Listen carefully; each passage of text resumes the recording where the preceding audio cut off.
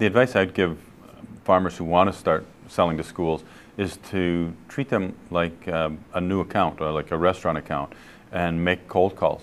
Uh, call their local school district, call their uh, food service director, tell them who they are, what they're interested in, ask them if they're doing anything with farm to school or local produce.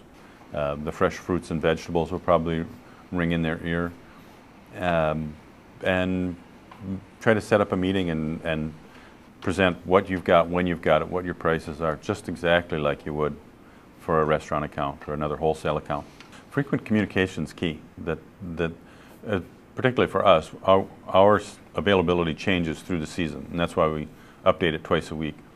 Um, but to keep them online with what's coming, what's really good, what you've got a lot of, um, what's happening in the fields, that it makes it a much more much more real to them, and they turn around and promote that to their to their students, and they get you know that that that's their end customer. They have to to get them to buy in, and then they eat the stuff, and it works they certainly buy the most of the standard, the staples, but they're really excited to have something new, something interesting to show the kids, because that's if they can catch their their attention with it, then they'll eat it, and they continue to eat it even when this local season's over.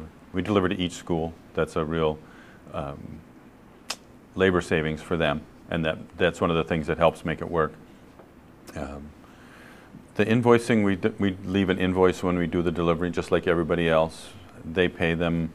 They usually once they get started, they pay about once a month, but it takes a while for us to get into their system. Um, but they've all, you know, it's they buy a lot. They're good customers. They they pay regularly. It's it works works fine.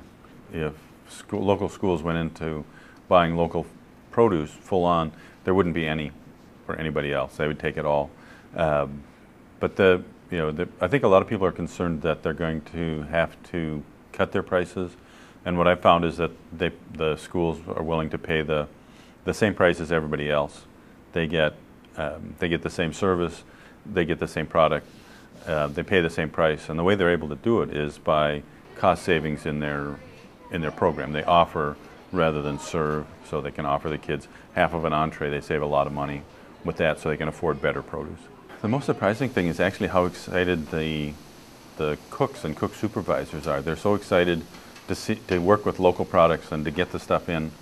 They're they're um, I don't know bubbling over with enthusiasm for it.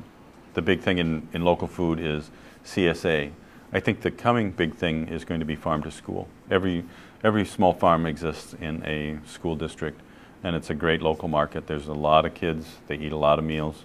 Um, I think it's going to be the next the next big thing for local food.